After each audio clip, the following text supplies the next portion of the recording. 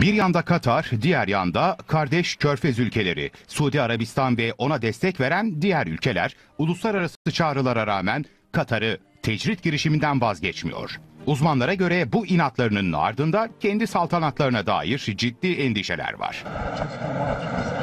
Haksız suçlamalara maruz kalan Katar monarşiyle yönetiliyor. Tıpkı ona cephe alan Kuveyt, Bahreyn, Birleşik Arap Emirlikleri ve Suudi Arabistan gibi. Bu cepheye katılan Mısır'daysa darbeci Sisi'nin saltanatı var. Peki bu ülkeler kendileri gibi bir monarşi olan Katar'dan neden çekiniyor?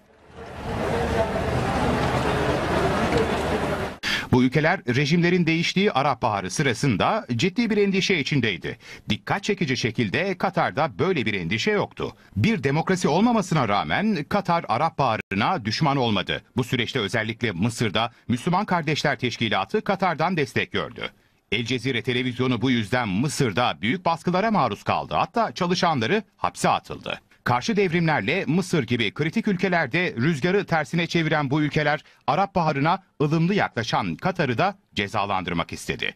Çünkü Mısır, Ürdün, Fas, Kuveyt ve Yemen'de demokratik yollarla iktidara gelmiş veya iktidar ortağı olmuş gruplar Suudi Arabistan ve müttefiklerini korkuttu. Örneğin Mısır'da Hüsnü Mübarek'in devrilmesi sürecinde Batı'nın Mübarek'ten desteğini nasıl çektiğini gördüler. Aynısının kendi başlarına gelmesini istemiyorlar.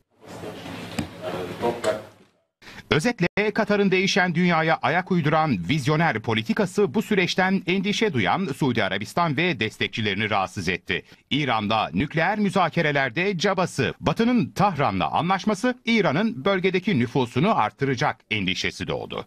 Buna Doha'nın İran'la ılımlı ilişki kurma tavrı da eklenince bölgedeki dengeleri değiştirecek büyük bir potansiyel ortaya çıktı. Suudi Arabistan güdümündeki Körfez İşbirliği Konseyi'nde dayattıkları bölgesel düzenin tehlikeye düştüğünü gördüler.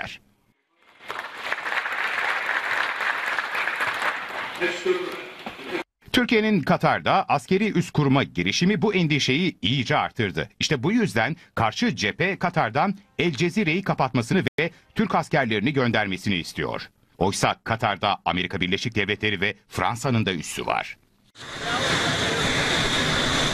Mısır'ın Müslüman kardeşleri sözde terör örgütü ilan etmesi müttefiklerinin elini güçlendirdi. Kriz patlak verince Katar'a teröre destek veriyor yaftası yapıştırıldı. Aynı Katar Gazze'de Hamas'a desteği nedeniyle de terörle suçlandı. Arap ülkeleri Filistin'deki İsrail zulmünü ise ustalıkla görmezden geldi.